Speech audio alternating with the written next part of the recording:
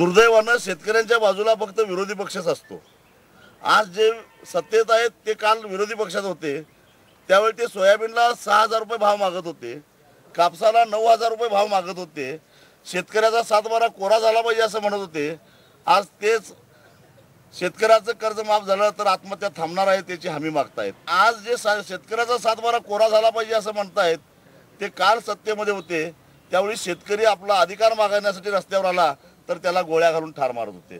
दुर्दैव आमचं एवढंच आहे की आमच्या बाजूला विरोधी पक्षात असणारे नेहमी असतात.